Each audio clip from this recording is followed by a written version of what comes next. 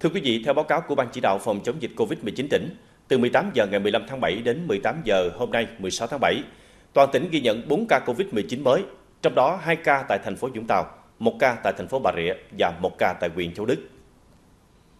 Cả tỉnh có một bệnh nhân COVID-19 đang điều trị tại khoa ICU Bệnh viện Vũng Tàu là bệnh nhân nữ 71 tuổi đã tiêm 3 mũi vaccine ngừa COVID-19. Hiện tình trạng sức khỏe bệnh nhân ổn định, 49 bệnh nhân đang điều trị tại nhà. Tỷ lệ bệnh nhân COVID-19 đã khỏi bệnh đạt trên 99%. Đến nay, 100% trẻ từ 5 đến 11 tuổi trên địa bàn tỉnh đã được tiêm chủng ngừa COVID-19, trong đó có 52,1% trẻ đã tiêm đủ 2 mũi. 6,4% công dân từ 18 tuổi trở lên cũng đã được tiêm mũi 4.